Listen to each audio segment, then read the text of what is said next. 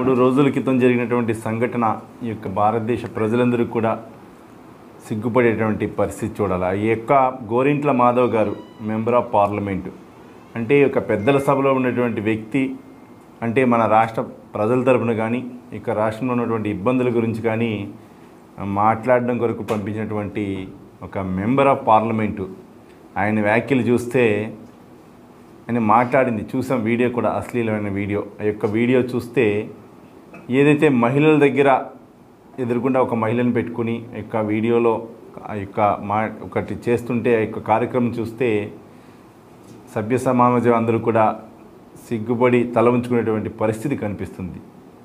ఆయన రోజు ప్రతిపక్షంలో తెలుగుదేశం పార్టీ మీద ఒక మీసం తిప్పితే ఆయనకి ఎంపీ టికెట్ ఇవ్వడం కానీ ఆ యొక్క ప్రతిపక్ష నాయకుల్ని తిడితే ఆ యొక్క పర్సన్కి యొక్క లోక్సభలో స్థానం కలిగించే విధంగా ఆ యొక్క వైఎస్ఆర్ పార్టీ చర్యలు తీసుకోవడం జరిగింది.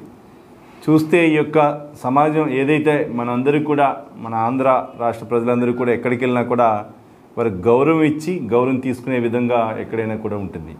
కానీ ఈరోజు పరిస్థితులు చూస్తుంటే మొన్న అసెంబ్లీ సాక్షిగా ఎక్కడైతే ప్రతిపక్ష నాయకుల యొక్క సతీమణి భువనేశ్వర్ గారి మీద మాట్లాడినటువంటి మాటలు కానీ అదేవిధంగా ఒక చట్టసభలో ఎవరైనా ప్రజలు ఎన్నుకుని ఎందుకు పంపుతారు యొక్క వారి యొక్క సమస్యల మీద పోరాడతామని కానీ మరి ఇక సమస్యలు వినిపించి ప్రజలకు ఏదో అవసరాలు ఉంటాయి అవసరాలకు సంబంధించి చట్టసభలో మనం చట్టాలు చేయడానికి కానీ ఒక ప్రతినిధిగా ఒక శాసనసభ్యుడిగా కానీ అదేవిధంగా మెంబర్ ఆఫ్ పార్లమెంట్ కింద కానీ ఎన్నుకోవడం జరుగుతుంది. ఈరోజు ఉన్నటువంటి పరిస్థితులు రాజకీయ సమీకరణలు కానీ రాజకీయ పరిస్థితులు చూస్తే సభ్య సమావేశం తల వంచుకునే విధంగా కనిపిస్తుంది. ఎవరైతే ఎక్కువగా మాట్లాడతారో అసభ్యంగా మాట్లాడతారో వారికి ప్రమోషన్ ఇవ్వటం వారందరినీ కూడా అందులాని పెట్టుకుంటాం. ఇట్లాంటి చేస్తున్నటువంటి వైఎస్ఆర్ పార్టీ ఇప్పుడైనా నాయకులందరూ కూడా ఒకటి గమనించాలా? ఎక్కడైతే ఒక మహిళలు వారి ఇంట్లో ఉన్నటువంటి మహిళల మీద మాట్లాడేటప్పుడు వారికి కూడా తల్లి చెల్లి భార్య కూడా ఉంటారని చెప్పి వారు గమనించాలా? ఈ యొక్క అసెంబ్లీలో జరిగినటువంటి గతంలో జరిగినటువంటి సంఘటనలు కానీ ఈరోజు జరిగినటువంటి సంఘటనలు కానీ ఇవన్నీ కూడా ప్రజలు గమనిస్తున్నారు. రాబోయే రోజుల్లో వారందరికీ కూడా ప్రజలే బుద్ధి చెబుతారని చెప్పి నేను మీ అందరి ద్వారా తెలియజేసుకోవడం జరుగుతుంది. ఈరోజు ఇక్కడ శాసనసభ్యులు మనం చూస్తున్నాం. ఎక్కడైతే పాలకొల్లి శాసనసభ్యులు ఈరోజు రామానాయుడు డాక్టర్ రామానాయుడు గారు ఆయన ఎప్పుడు కూడా ప్రజల తరపున పోరాటం చేస్తూ ఒక పక్కన వరదలు వస్తుంటే వారికి కావాల్సినటువంటి పసుపు రసాన్ని కానీ వారికి అవసరమైన నిత్యావసర వస్తువులు కానీ అంత బిజీ లైఫ్ గడుపుతుంటే ఈరోజు టిట్కో హౌసెస్ ప్రారంభోత్సవాన్ని అంటే ఎవరు గతంలో కట్టినటువంటి హౌసెసే కానీ కొత్తగా ఏం కట్టినవి కావు. నైంటీ పర్సెంట్ వర్క్ కంప్లీట్ అయ్యి ఫైవ్ పర్సెంట్ ఒక పెయింట్స్ ఒక అంటే సింగిల్ కోటింగ్ డబుల్ కోటింగ్ కూడా కొన్ని చోట్ల జరిగినాయి. దాని మీద ఇంకో కోటింగ్ ఏదైతే వారి పార్టీ యొక్క రంగులు వేసుకుని ఈరోజు వారికి హౌసెస్ హ్యాండ్ ఓవర్ చేసే ఒక మంచి కార్యక్రమం ప్రభుత్వం మూడు సంవత్సరాల క్రితం చేయవలసిన కార్యక్రమం ఈరోజు చేస్తుంది. ఆ కార్యక్రమంలో చూస్తే ఆ యొక్క శిలాపలకం మీద కూడా ఎంత విడ్డూరం ఒక శాసనసభ్యుడు ఈరోజు చాలా చోట్ల రాష్ట్రంలో జరుగుతున్నాయి. అన్నీ ఆ శిలాపలకాలు గమనించండి మీరందరూ కూడా. రాష్ట్రంలో ఉన్నటువంటి శిలాపలకాలు ఏ విధంగా చేశారు? అక్కడ ఉన్నటువంటి ప్రోటోకాల్ ఏ విధంగా పాటించారు?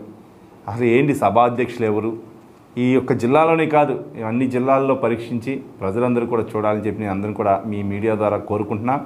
అక్కడ ఏదైతే స్టేజ్ మీదకి వెళ్ళేటప్పుడు కూడా వారి మీద ఎంత మ్యాన్ హ్యాండిల్ చేయటం ఇవన్నీ కూడా సభ్య సమావేశం బాధపడే విధంగా అందరికీ కూడా ఈ యొక్క గౌరవాన్ని ఒక ఆంధ్ర రాష్ట్ర ప్రజల యొక్క గౌరవాన్ని పెంచే విధంగా ప్రజాప్రతినిధులు ఉండాలి. కానీ మన యొక్క రాష్ట్రం యొక్క పరువు ప్రతిష్టలు పోయే విధంగా ఎక్కడా కూడా జరగకూడదని చెప్పి నేను అందరికీ కూడా తెలియజేసుకుంటున్నా. అదేవిధంగా ఈ యొక్క పార్టీ ఏదైతే వైఎస్ఆర్ పార్టీ ఉందో వారి యొక్క అనుచితమైన ఆలోచనలు మానుకుని ఈ యొక్క ప్రజల్ని గౌరవించి కానీ అదేవిధంగా ప్రజాప్రతిని గౌరవిస్తే అంటే ఒక నూట యాభై ఒక్క సీట్లు వచ్చినాయి అంటే ఇంకా టోటల్గా మాదే కదా అనేటటువంటి పరిస్థితి వీరందరూ కూడా చేయడం జరుగుతుంది. ఎప్పుడు కూడా రాజకీయాల్లో ఎత్తుపల్లాలు ఉంటాయి. చూస్తున్నాం ఆ రోజు ఉన్నటువంటి రాజకీయ పరిస్థితిలో పది శాతం తేడా వచ్చినప్పటికీ కూడా గతంలో ఎన్నోసార్లు అపోజిషన్ పార్టీలో ఉన్నవారికి కూడా పది శాతం వచ్చినప్పటికీ కూడా మరుసటి ప్రజలందరూ కూడా ఇక చేసేటువంటి డెవలప్మెంట్ని బట్టి ఎన్నుకోవడం జరుగుతుంది. ఈరోజు చూస్తుంటే డెవలప్మెంట్ ఎక్కడుంది? ఈరోజు ఒక గ్రామాల్లో ఎక్కడైనా ఒక డ్రైనేజ్ వ్యవస్థ కానీ డ్రింకింగ్ వాటర్ కానీ ఈరోజు ఎక్కడా చేయలేని పరిస్థితి ఈ యొక్క రాష్ట్ర ప్రభుత్వం ఉంది. జలజీవన్ మిషన్ ద్వారా సుమారుగా నూట మూడు కోట్లు ఉదాహరణ మన కాన్స్టిట్యున్సీ ఉంటే ఈ యొక్క మూడు సంవత్సరాల్లో ఆ మూడు కోట్ల రూపాయలు కూడా ఖర్చు పెట్టిన దాఖలా ఉంది. చెప్తూ ఉంటారు ఈరోజు గడప గడపకి మన ప్రభుత్వం అని చెప్పి వెళ్ళటం జరుగుతుంది. ఈరోజు అందరూ కూడా గమనించాలా? ఎక్కడ ఉన్నటువంటి సమస్యలు? గ్రామంలో ఉన్నటువంటి అనారోగ్యమైనటువంటి ఏదైతే ఈ డ్రింకింగ్ వాటర్ ఎక్కడా కూడా ఫెసిలిటీస్ సరిగ్గా లేకపోవడం కానీ అదేవిధంగా ఈ కింద స్థాయిలో డ్రైనేజ్ వ్యవస్థ ఎక్కడా కూడా సరిగ్గా లేకపోవడం కానీ ఇంటర్నల్ రోడ్స్ కూడా ఎక్కడ సరిగ్గా లేకపోవడం కానీ ఇవన్నీ కూడా గమనించి ఒక్క మౌలిక వసతులు అన్నీ కూడా కల్పించాలి. ఒక సంక్షేమ పథకాలు ఎంత ముఖ్యమో ఒక ప్రజలందరికీ కూడా దాంతోపాటు వారికి ఉపాధి కల్పించే విధంగా. ఈరోజు చూస్తున్న మన రాష్ట్రంలో ఉన్నటువంటి అందరికీ కూడా అమ్మఒడి కావచ్చు లేకపోతే ఫీజు రియంబర్స్మెంట్ కావచ్చు వివిధ రకాలుగా ఇవ్వడం జరుగుతుంది. ఇవన్నీ కూడా ఈ యొక్క పిల్లలకి ఏదైతే ఖర్చు పెట్టినటువంటి ప్రభుత్వం ఉందో తదుపరి పిల్లలకి ఖర్చు పెట్టాలంటే రాబోయే రోజుల్లో వాళ్ళకి ఉద్యోగ అవకాశాలు కల్పిస్తే వారి ద్వారా ద్వారా వచ్చేటువంటి ట్యాక్స్లు కానీ అంటే జిఎస్టీ అంటే కొనుగోలు శక్తి వాళ్ళకి పెరిగితే దాని ద్వారా ఇక ఎంతోమంది పిల్లలకు ఉపయోగపడే పరిస్థితి ఉంటుంది.